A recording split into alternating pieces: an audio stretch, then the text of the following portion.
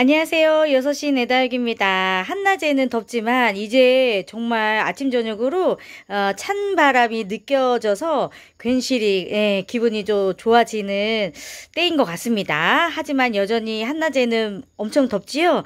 어, 다육이들도 이제 음, 정리를 많이 하고 계시지 않을까 생각이 들어요. 아마 집집마다 빈 화분들이 정말 많이 나오지 않을까 생각이 드는데 해마다 이때가 되면 아, 다시는 내가 다육 생활 을안 해야겠다. 내가 왜 이렇게 고생을 하고 있어야 되나 이런 생각 저도 매년 여름마다 하거든요. 근데 결국 또 음, 찬바람 나고 가을이 되면 어느샌가 또 다육이를 들이고 있더라고요. 그러면서 아, 또 이렇게 힘들었던 여름은 잊혀져 가고 또 가을, 겨울, 또 봄까지 아, 또 아주 기분 좋은 다육 생활을 하게 되는 것 같습니다. 네, 여러분들은 상황에 따라서 음 키우시면 좋을 것 같고요. 저도 빈 화분 많이 나왔어요. 네, 그래도 아, 또 여러분들에게 저는 또 힘들지 않게 여러분들에게 좀 힘낼 수 있도록 어, 영상을 또 찍어야 되니까 오늘도 한번 힘내 보도록 하겠습니다.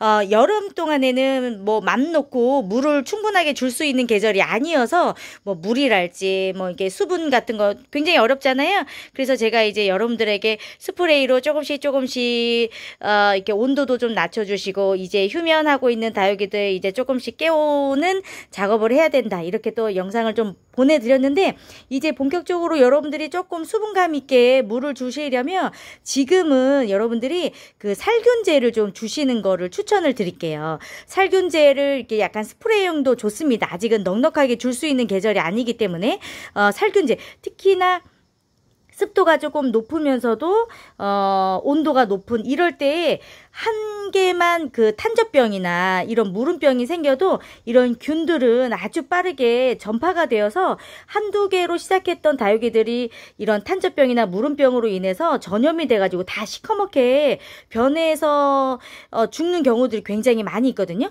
이제 이미 그런 아이들은 빨리 다른 다육이들과 분리를 해주시고 아마 이런 이야기들은 많이 들으셨을 거예요. 한두 개 이제 다육이들이 어, 까맣게 타면서 어, 안 좋아졌을 때는 때는 다른 다육이들에게 전염이 되기 때문에 빨리 이제 분리를 해주시는 게 좋고 그 다음으로는 이제 뭐 이렇게 뿌리까지는 이거를 다 해줄 수는 없다 할지라도 지금 단계에서는 이렇게 살균제. 보통 이제 살충제라고 해서 깍지벌레랄지 뭐 뿌리파리랄지 이렇게 그 벌레를 죽이는 거를 살충제라고 하고요. 무름병이랄지 이렇게 탄저병 어, 걸리는 이런 탄저균. 요거를 여러분들이 조금 예방을 하거나 박멸을 할 때에는 살균제를 쓰셔야 됩니다. 살균제. 요즘에는 이제 따로따로 하기가 좀 그렇기 때문에 살충제 살균제 한꺼번에 사용할 수 있는 그런 다육이 약들도 많이 나와 있기는 하더라고요 거예요. 근데 이제 다육이의 개수가 많아질수록 이제 전문적으로 살충제 혹은 살균제 이렇게 사용을 하시는 것도 어, 좋은 방법이 될 수가 있고 어, 시중에서 판매하는 것들은 좀 효과가 떨어질 수가 있거든요. 그래서 나는 한 번 하더라도 조금 효과를 보고 싶다 하시는 분들은 전문적으로 이렇게 그 저도 그 농약사 같은 데 가면요. 새싹 채소 이런 거 파는데 어, 묘목 파는데 이런 데 가서 다육이 탄저병 잡으려고 한다. 어떤 거 뿌리면 좋겠냐 하면 어, 이제 그 농약사마다 추천해 주시는 것들이 있더라고요. 그리고 여러분들이 이제 뭐 많지 않다면 그냥 이렇게 인터넷에서 구입해서 사용을 하시는 것도 괜찮습니다. 그런데 이제 키우다 보면 개수가 늘어나니까 음 그냥 구비를 해 놓으셔도 희석해서 사용을 하는 거기 때문에 또 괜찮더라고요. 그리고 요즘에는 이렇게 음, 농약사에서 사더라도 워낙 그 이제 뭐 농약의 기준치랄지 뭐 살충 살균제 사용하는 게 약간 인체에 해롭지 않은 것들로 조금 기준치가 많이 내려가서 어 그렇게 여러분들이 위험 하다고 생각하시지 않으셔도 네 괜찮더라고요. 저도 이렇게 한두 개가 탄저병이 좀 생기면서 그 주위에 있는 아이들이 조금 피해를 본 게 있었거든요.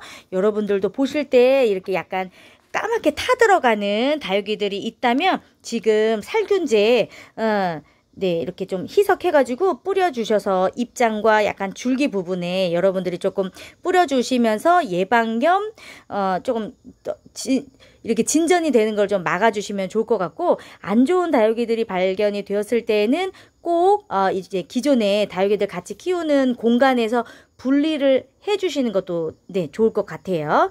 한낮에 이제 아직은 햇빛이 조금 뜨겁기는 하지만 음, 조금 차광이 어느 정도 저는 파라솔로는 가능은 해서 한여름 이제 비 내리는 거 이런 거는 조금 피할 수 있을 것 같아서 아, 조만간에 실내에서 어, 잔뜩 이렇게 웅크리고 있는 아이들 조금 나가서 음, 좀 통풍이 잘 되는 자유로운 곳에 조금 진열 다시 해주려고 생각하고 있거든요. 여러분들도 서서히 서서히 내 가을 준비하시면서 아무래도 창문을 다 열어준다 할지라도 실내에서는 음, 확실히 좀 어렵습니다. 예, 이게 이제는 비가 또 많지는 않을 것 같고요. 뭐 태풍 소식이 좀 있기는 하지만 그때 그때 여러분들이 조금 감안하셔서 이제 어느 정도 뜨거운 햇빛만 조금 차광이 될 수 있는 공간으로는 밖으로 나가셔도 너무 좋을 것 같아요. 베란다에서 키우시는 분들도 약간 차광만 조금 더 신경을 쓰시면 이제 뭐 거리대 나가도 괜찮지 않을까 생각이 듭니다. 대신에 아직은 햇빛이 너무 뜨겁잖아요. 이렇게 뜨거운 햇빛만 조금 더 조심해 주셔야 될 것 같아요. 아, 네. 까맣게 타들어가는 다육이들 보면서 내 속도 까맣게 타들어갑니다. 지금 이 시기에는 어, 살충제, 살균제 한번 해주시는 것도 좋은데 조금 염려가 되는 아이들은 먼저 어, 살균제 네, 깍지벌레를 죽이는 게 아니라 깍지벌레 있었다면 뭐 살충제도 하셔야 되겠지만 살균제 네, 또 못 해주셨던 분들은 지금이라도 좀 입장에 촉촉하게 적셔 주시는 거 좋을 것 같아요. 오늘은 여기서 인사드릴게요. 고맙습니다.